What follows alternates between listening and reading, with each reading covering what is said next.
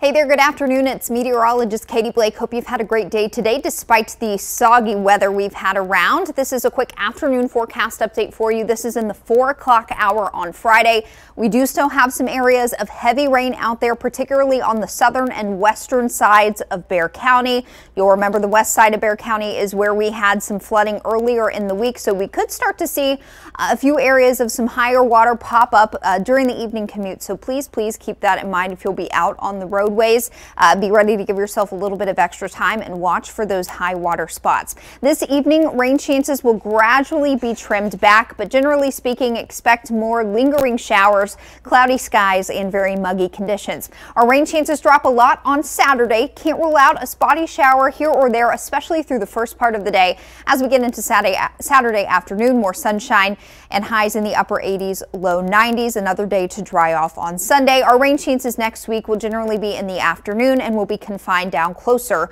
to the Texas Gulf Coast. Have a great, safe late afternoon and early evening. We'll have the latest for you weather, traffic, and news coming up on KSAT News at 5 and again at 6. See you then.